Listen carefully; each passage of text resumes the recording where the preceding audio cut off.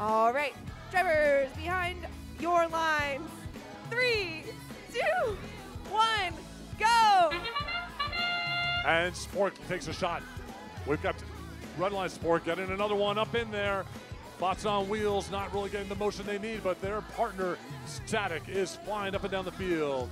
Three seconds left. Blue Alliances has a three point lead as the drivers take the controls. Bots on wheels lining up for that shot. Here come their partners, RJR Cyber Demons, falling a little bit short. Blue Alliance is being able to sink a few home. Here comes Girls on Fire. Get it in there. The game piece, the note is bouncing. Can it get off? Girls on Fire is probably going to give that a little love tap, see what they can do. Meanwhile, the Beach Bots coming over to the source, trying to pick up a game piece. We've got the RJR Cyber Demons playing a little bit of defense in the middle. Looks like Girls on Fire are going to be doing the same. We've got Team Spork trying to send some game pieces over.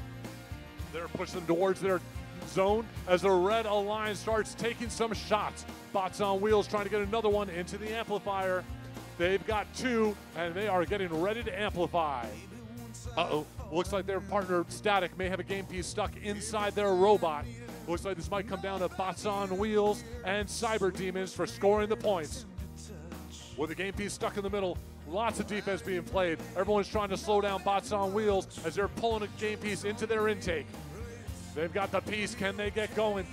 Here comes some more defense. Girls on fire in position. Just lining up on everyone. Heavy traffic in the middle. Bots on Wheels takes the shot. Bots on Wheels heading back for another game piece. Lots of defense being played. Here we have the Beach Bots head over. They're loaded up with a game piece for the Blue Alliance, trying to get themselves free, and they get boxed in by the Red. Bots on Wheels trying to get guys to spotlight themselves. It's bouncing off the top as the high notes are flying.